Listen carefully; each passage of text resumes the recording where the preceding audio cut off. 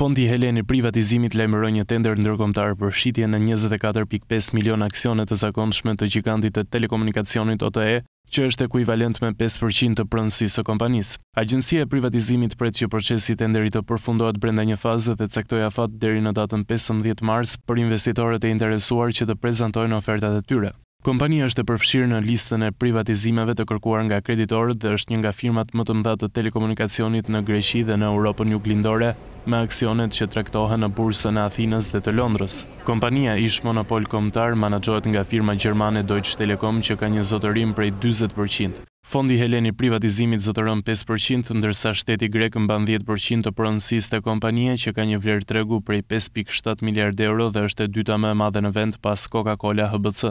Pjesa tjetër e pronësisë mbahet nga institucione vendase dhe ndërkombëtare si dhe nga investitorë privatë. Për shitje është lajmëruar pjesa e aksioneve që mbahet nga fondi i privatizimit. Kompania operon kryesisht në tregun grek, por ofron gjithashtu shërbime edhe në Rumani e Shqipëri. Greqia ka gjeneruar thuajse katër pikë shtatë miliardë euro nga privatizimet që kur nënshkroi programin e parë të shpëtimit në vitin dy mijë e dhjetë dhe synon tre miliardë të tjera deri në dy mijë e nëntëmbëdhjetë-ën, apo një vit pas përfundimit të programit të fundit të shpëtimit.